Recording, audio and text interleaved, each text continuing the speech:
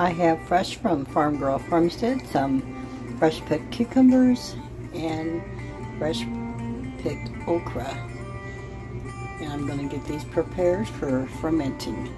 Usually I do pickle chips with the cucumber chips with the cucumber, but I'm going to try fermenting them into pickles. But no vinegar, just fermented. I cut the cucumbers into spear shapes.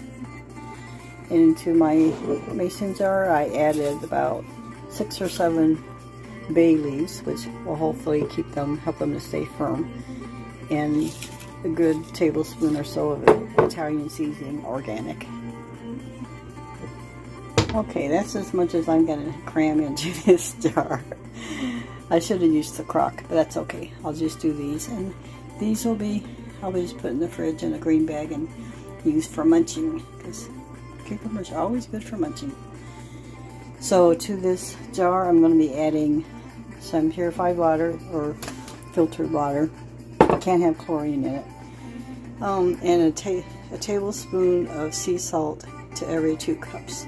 See how much it takes to fill this up. Gonna put on the freshly fermented, washed fermentation um, weight.